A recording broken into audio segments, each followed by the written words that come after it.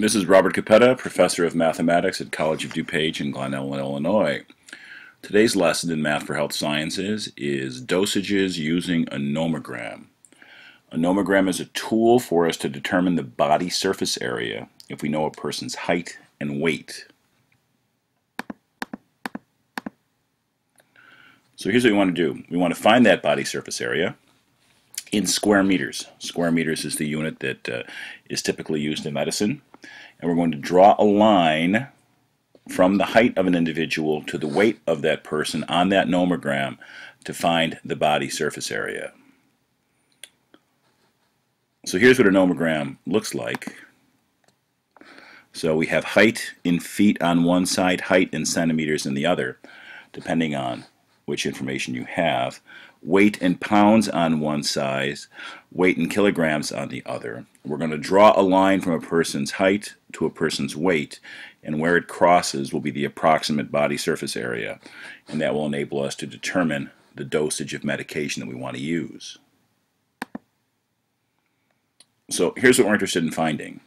We want to find the body surface area for a woman who is 5 foot 6 and weighs 150 pounds. So to do that, we've got to find 5 foot 6 on the height side of the nomogram. We've got to find 150 pounds on the weight side of the nomogram. Draw the line and see where it crosses the body surface area part. So where is 5 foot 6? 5 foot 6 you'll notice is right about here. 150 pounds is right about there. So we'll draw a line from 5 foot 6 to 150 you would typically use a ruler or a straight edge to see where they cross. Here's the line that I've drawn. You'll notice from 5.6 to 150 and you'll see that it crosses somewhere between 1.7 and 1.8.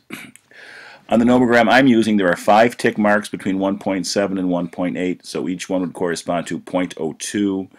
I believe in other nomograms you may have 10 marks between 1.7 and 1.8.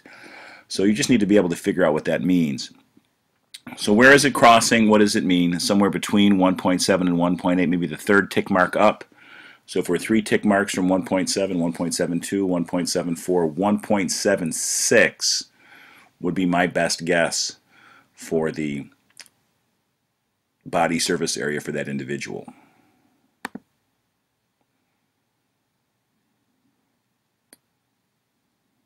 Now, the dosage of the medication says 80 milligrams per square meter. So we want to give someone that medication. And again, this person is 5 foot 6 and weighs 150 pounds. So now that we know approximately what the body surface area is, we can find the dosage. So from the nomogram, we saw it's about 1.76 square meters. So 80 milligrams per square meter, 1.76 square meters, We'll multiply those together to determine the dosage for that individual. So you, indeed you can see how this works here. 80 milligrams per square meter times 1.6 square meters. The square meters would cancel. This square meters go away. That square meters goes away. 80 times 1.76 gives us a dosage of 140.8 milligrams. So let's look at another question. This time we'll say a man weighs 100 kilograms. So we need to use the 100 kilogram side of the nomogram for weight. He is 6 foot 2 inches tall. And the label says 60 milligrams per square meter. And we want to find the dosage. So how can we do that? Well, 100 kilograms and 6.6 feet 2 inches tall. Where would that be? So 100 kilograms, weight in kilograms on this side. 100 kilograms is about here. Uh, 6 feet 2 inches, 6 feet 2 inches is about there. So we would draw the line between those two points to see what the body surface area is for that individual. So looking a little bit more closely at the nomogram, drawing in that line, this is what we see. 6 inch, 6 feet 2 inches is about there. 100 kilograms is about there. So you'll notice this time it lands between 2.2 and 2.3. Uh, getting very, very close to this. I think it's somewhere between 2.6 and 2.8. Remember, each tick mark corresponds, excuse me, 2.26 and 2.28.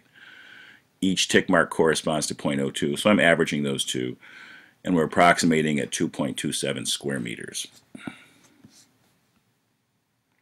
So if we do that, we now want to find the dosage. So how do we do that?